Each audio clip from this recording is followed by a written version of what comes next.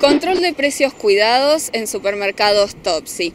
La gente de la Oficina de Defensa al Consumidor lleva a cabo este procedimiento y al finalizar pudimos conversar con Miriam Zurita, la responsable, quien nos brinda toda la información. Estamos nuevamente controlando los precios cuidados. Eh, en esta oportunidad hemos venido aquí al Topsy.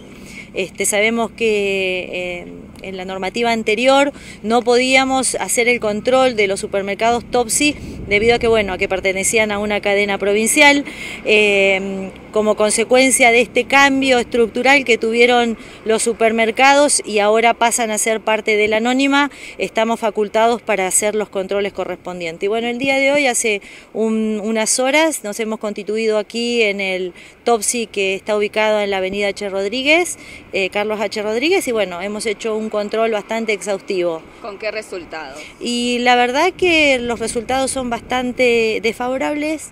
No, no hemos encontrado, este, o sea, hemos encontrado muchísimo faltante, muchísima falta de identificación, este, muy poco stock. Eh, mala identificación.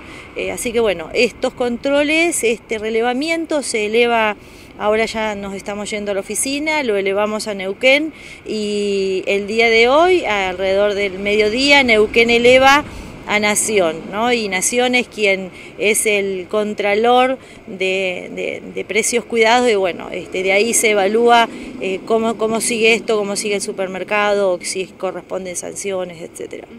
Nos decías que hay bastantes faltantes, sobre todo en qué productos, eh, productos de em, uso principal, primordial. Sí, en realidad este, varios, este, por ejemplo en aceites, este, como por citar, en cinco opciones de precios cuidados solamente encontramos, este, a ver, una opción de precios cuidados y una opción sin precios cuidados. Em, también por ahí nosotros tenemos este detalle, ¿no? Dentro de los productos que están dentro de em, la nómina, también controlamos si hay otro, otro producto que, aunque no esté, dentro del registro que debemos hacer, este, sí este, controlamos que la población tenga, aunque no tenga precio cuidado, tenga la posibilidad de tener al alcance alguno de estos elementos. Eh, al respecto, por ejemplo, de em, harinas, eh, nos encontramos con la única opción que hay, esa existe, fideos, de tres opciones encontramos solamente una, y bueno, es, largo el listadito, pero bueno, sí, la verdad que sí, no es muy favorable. Han recorrido en el día de hoy el supermercado Topsy que está sobre Carlos H. Rodríguez. Nos decías, han estado también visitando el de Avenida Olascuaga. ¿Eso se va a hacer en días venideros? Sí, en el transcurso de la semana vamos a estar visitando también el, de Olascuaga.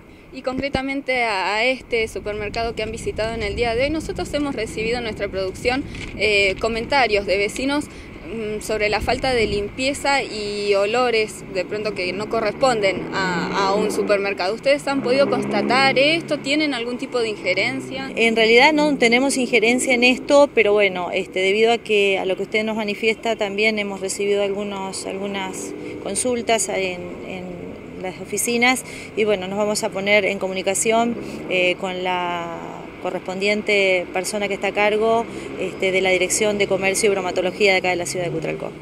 ¿Cuál es la situación de la anónima?